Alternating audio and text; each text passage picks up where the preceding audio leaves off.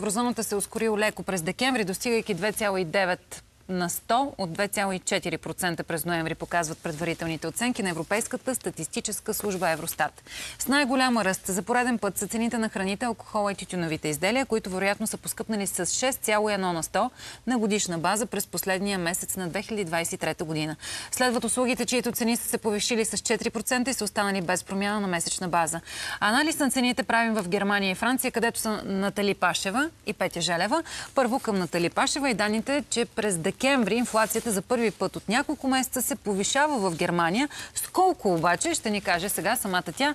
Натали, здравей, радвам се да те видя. Здрава и спокойна година да имаш от сърце. Здравей, Лора! Здрава и прекрасна година за теб и за зрителите на твоя ден. С 3,7% цените на стоките и услугите са се повишили тук а, през декември 2023, сравнено с декември 2022 година. Както и ти каза, това е първото повишение на инфлацията тук а, от няколко месеца насам и економистите го а, обясняват с един специален ефект.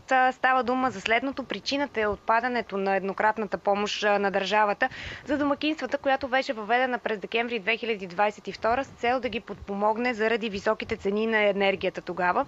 Но извън този ефект, който а, така е, вътреш, е свързан с вътрешни процеси тук в Германия и с отраженията, които има войната между Русия и Украина в страната, трябва да кажем, че базовата инфлация спада.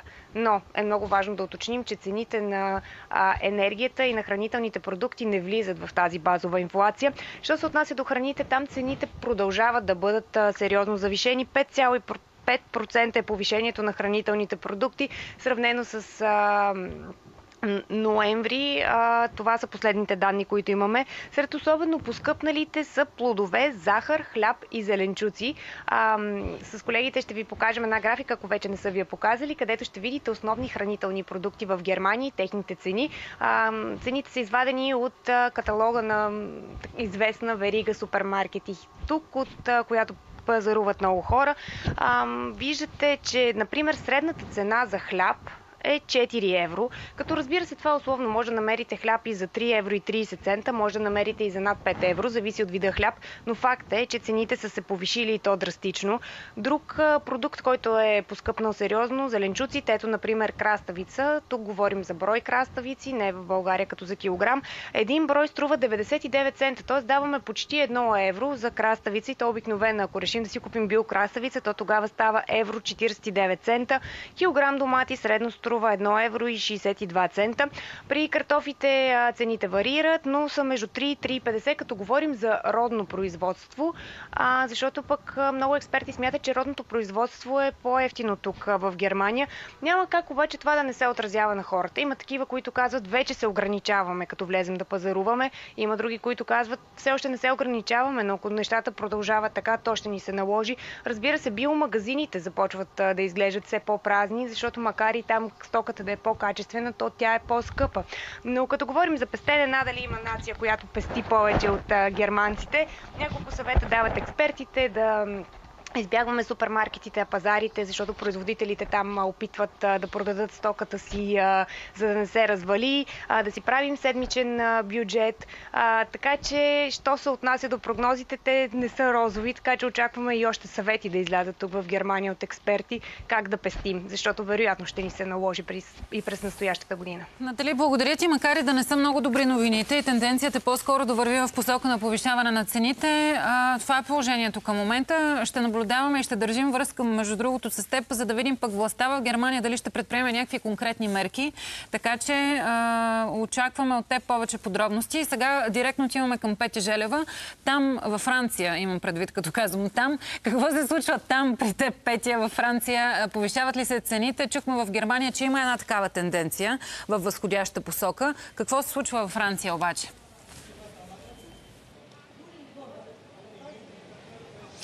Добро утро, Лора. Идентична е ситуацията при мен в Франция, тъй като чух кореспонденцията на Натали. Само не съм съгласна с нея, че германците са най-пестеливи, защото смятам, че по-пестеливи и по-економични от французите няма тук. Буквално се брои всеки цент, всичко е на промоция, търсят се промоции. Парадоксално, вероятно, на това, което ние в България си мислим, тъй като стандартът на живот и във Франция и в Германия е в пъти по-висок от този в нашата страна.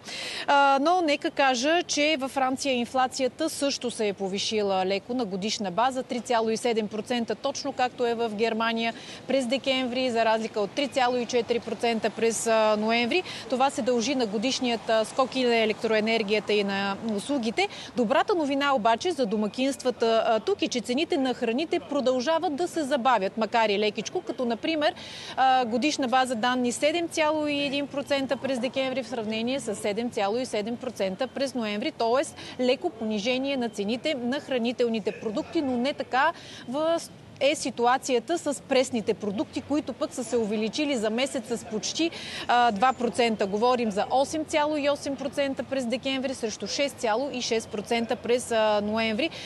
Но нормално е голяма част от пресните продукти, от пресните плодове и зеленчуци да са по-скъпи през зимата, след като основно производството и вносът идва от чужди страни.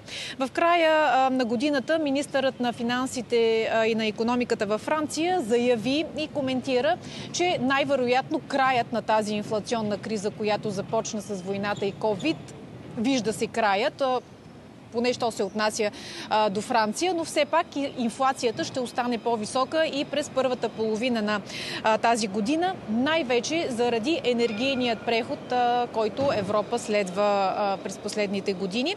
За да стане малко по-ясно, също ще ви дам а, цени на отделни хранителни продукти, които зрителите ще видят а, в таблицата, която колегите подготвиха.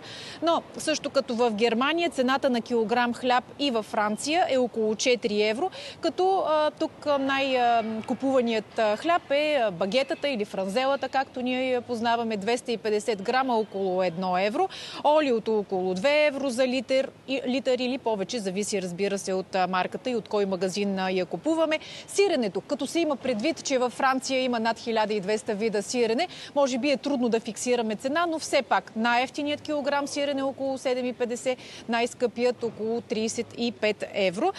месото също така, средна, средна цена на килограм месо 12 евро. Краставиците отново тук се продават на бройка, както е в Германия, а не на килограм. Една краставичка купуваме за 1 евро. Картофите около 2 евро. И нека да ви кажа, че една от най-популярните търговски вериги тук забрани и спря да продава безалкохолни напитки на един от световните гиганти, защото тези продукти са станали много скъпи. Благодарим ти, Петя, за, за това включване. Продължаваме с поглед вече към България. Видяхме в Германия какви са цените, видяхме сега а, в Франция. Петя Желева ни разказа а, как вървят тенденциите по отношение на инфлацията. Какво обаче се случва в България към днешна дата и какво ще се случи